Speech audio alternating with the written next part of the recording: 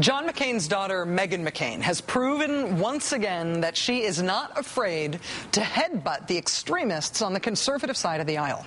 After former Congressman Tom Tancredo called for literacy tests for voting at the Tea Party convention last week, Meghan McCain was quick to call him out on it. And this, it's innate racism. And I think it's right? why young Yes. people are turned off by this movement. And I'm sorry, revolutions start with young people, not with 65 year old people talking about literacy tests and people who can't say the word vote in English. It's ridiculous.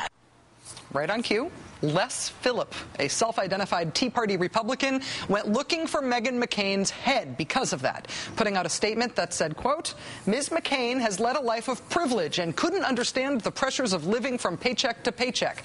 I respect her father's service to this country, but she ridicules what she cannot understand.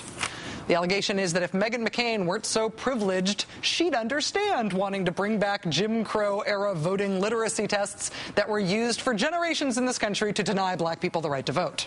That's according to, again, this guy named Les Phillip, uh, who is a Tea Party candidate challenging incumbent Congressman Parker Griffith in Alabama's 5th District. And it turns out that Parker Griffith is at the center of another quite strange political squabble.